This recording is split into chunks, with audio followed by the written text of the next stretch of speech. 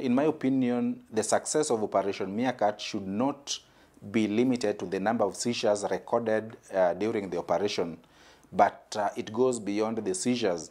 Foremost, a lot of uh, awareness has been created in the region.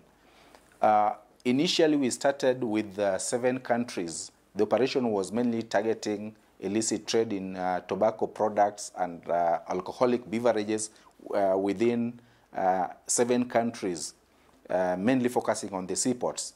But uh, through our networking and through uh, uh, th- through interaction with uh, other member countries, uh, we have been able to bring on board other countries which were uh, which were initially not in the original plan. Within the countries that are, are affiliated, the 18 countries that are, are affiliated to RILO ESA, uh, illicit trade in tobacco is very, very uh, important to them, uh, among other products.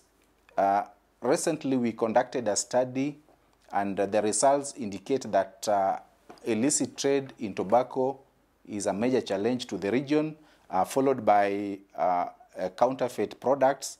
This is also followed by drug trafficking, tax evasion, and the fifth in number is illegal trade in wildlife products.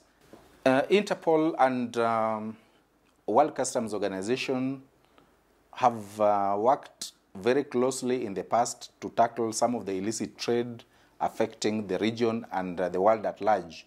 Uh, a good example is the Operation Meerkat, which has uh, brought the two agencies, international organizations together, and uh, they, they have uh, they- they've given the, the, the, their tools which can be used to uh, to control illicit trade. For example, the World Customs Organization uses the CENcomm, CENcomm platform to uh, collect information and do analysis.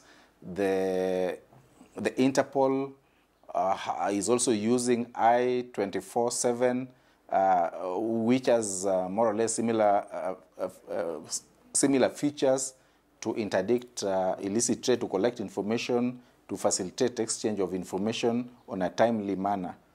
One aspect of uh, aware, awareness creation is to reach out to the public. There's need to engage the public uh, so that they are aware of uh, the dangers uh, which is posed by uh, trade in illicit trade.